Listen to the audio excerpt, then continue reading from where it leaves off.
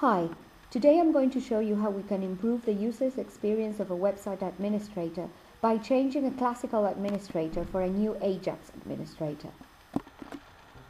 As an example, I'm going to use the IAG forum. Let's take a look at the old model first. I will show you the forum's administrator's experience of moving a conversation from one topic to another. With the old model, it usually takes all the following steps just to move a conversation.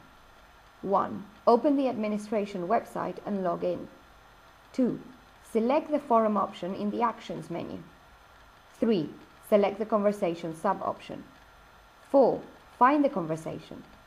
I have now lost all the context of the website and I need to re-find the conversation. 5. Once I have found the conversation, I can open the conversation for editing and move it to the new topic. 6. In order to check that my change worked correctly, I need to go back to the public website, but I'm not seeing the change yet.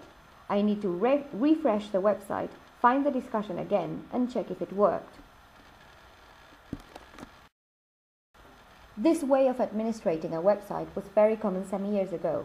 You might still find a lot of applications running in this way. Our focus at Kiyok is to make the administrator's job easier, so we have developed a system that's much more efficient. We will go through the same use case, but this time using the, using the new Ajax model.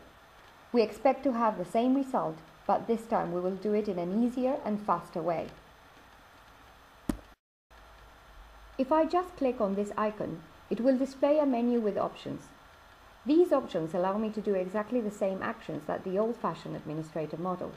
Here we have options for adding, deleting and editing. I can edit the conversation just here. This is what we call in-place administration. Just hit the edit link, change the topic of the conversation, and that's it. The new Ajax model has moved the conversation. Notice all the work that I'm not doing with the new Ajax model. I've avoided a lot of steps like opening a new web page, entering user and password, finding the item and sub-item in the Actions menu, filtering the list of conversations in order to find the correct one, and keeping track of all the information provided by the context of the website. The Ajax model was created with the Dojo toolkit, and as you can see, it saves a lot of time.